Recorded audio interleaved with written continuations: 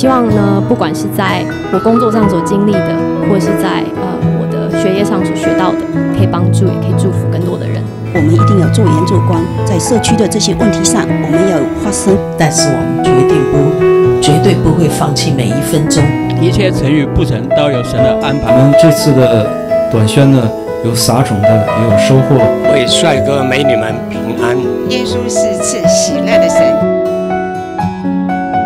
我当然都是为他们祈求神保守他们的心怀意念，身体要好啊，要相信神，要为神工作。